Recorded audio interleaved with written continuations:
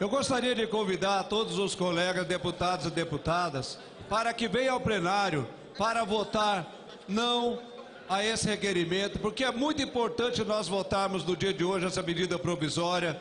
Nós somos a maioria que quer o bem dos nossos produtores rurais. Nós temos aqui a minoria da oposição que está obstruindo, que está querendo atrapalhar a vida dos produtores.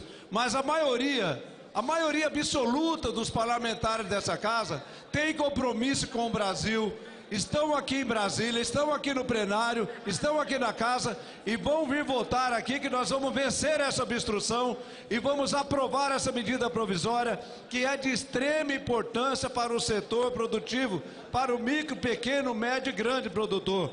E aqueles partidos que estão obstruindo, que estão votando contra, é bom que o eleitor brasileiro, que o povo brasileiro analise bem para depois cobrar nas urnas dessa, desses que são contra os agricultores brasileiros. Zé